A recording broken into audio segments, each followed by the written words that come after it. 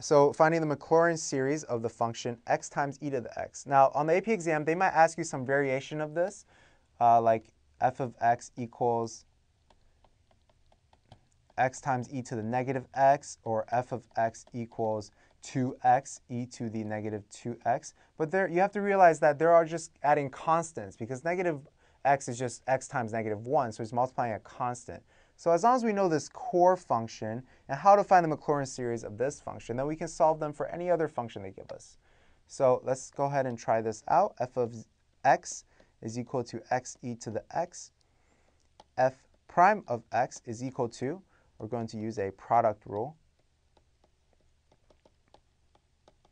So f prime of x is going to be derivative of the first term, 1 times the second term, plus derivative of the second term times the first term.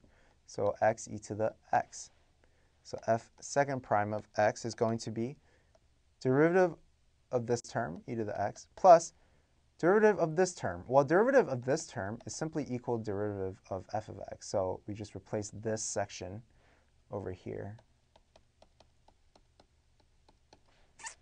And f3 prime of x equals well, one thing, same thing again. So plus e to the x plus e to the x plus derivative of x e to the x, which equals e to the x plus x e to the x. So e to the x plus x e to the x. And so on until we get a generalized expression, fn of x will simply equals, well, here's the third order derivative, and we have 3 e to the x terms. Well, that means n is directly related to the order of derivatives. So n times e to the x plus x times e to the x. There will always be an x times e to the x term at the very end. So let's go ahead and solve this for fn of 0. So if x equals 0, n times e to the 0 plus 0 times e to the 0. So this is 0, and we get n.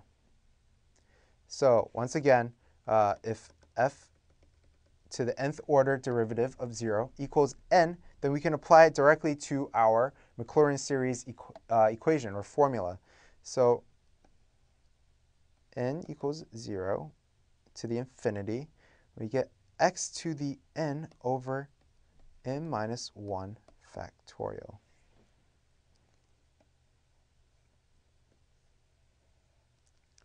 So that was uh, an example of how to find the Maclaurin series for a function that wasn't a cosine or a sine or uh, some type of fraction with a variable in the denominator. So these four that we looked at, uh, including this f of x equals x times e to the x, are very, very, very common on the AP exam. And you should know them very well and maybe even memorize the Maclaurin series for those four functions that, so then we can use them uh, whenever they come up on the AP exam. So thanks for watching educator.com. We will see you in the next lesson.